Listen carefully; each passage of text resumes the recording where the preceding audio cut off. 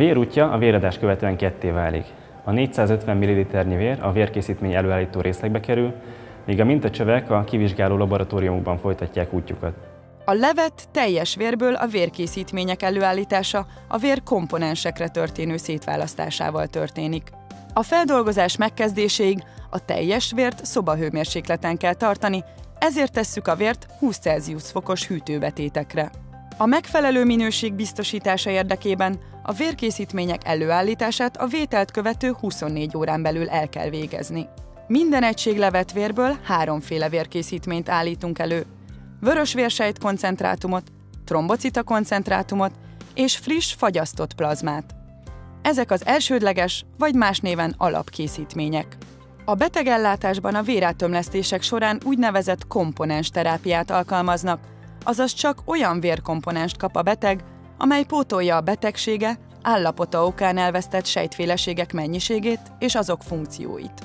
Tehát az egyetlen egység levett vérből elkészült három vérkészítményt akár három különböző beteg is megkaphatja. Innen ered a jól ismert szlogen, hogy adj vért és ments meg három életet. A levett vérek számítógépes fogadását követően az egyes vérkomponenseket sűrűség különbségük alapján centrifugálással választjuk szét. Az első centrifugálást követően a vérzsákban az egyes komponensek rétegekbe rendeződnek. Alul található a vörös vérsejt, középen az úgynevezett határréteg, amely trombocitában és fehérvérsejtben gazdag, legfelül pedig a sárgás színű plazma. A kialakult rétegeket szeparátorgépek segítségével választjuk szét. Minden egyes komponens külön-külön zsákba kerül. Míg egy egység teljes vérből egy-egy egység vörös vérsejt koncentrátum és plazma készül, addig egyetlen egység trombocita készítmény előállításához négy véradó vérére van szükség.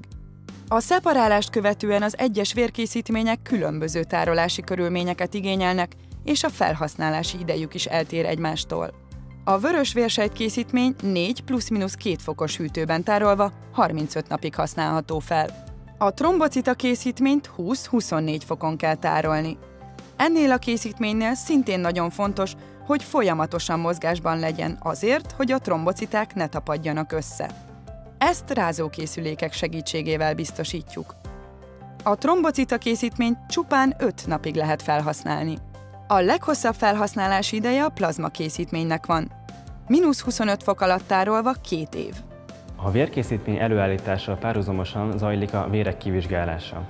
Ha a kivizsgálás során semmilyen eltérést nem tapasztaltunk, ugye a vérkészítményekre felkerülnek a végső felhasználáshoz szükséges címkék, és a vérek a vérkiadóba kerülnek. Arról, hogy a levett vérmintákból milyen vizsgálatokat végzünk el, a Vérútja sorozat következő részében fogunk bővebben mesélni.